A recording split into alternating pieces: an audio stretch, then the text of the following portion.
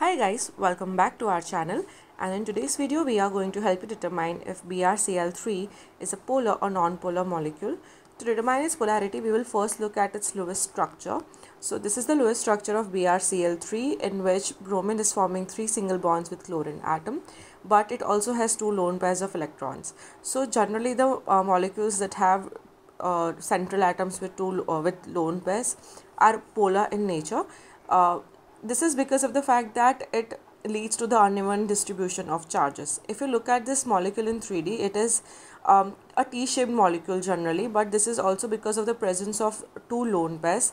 And if there were no two lone pairs here, the chlorine atoms would have spread out evenly and there wouldn't have been any uneven distribution of charges.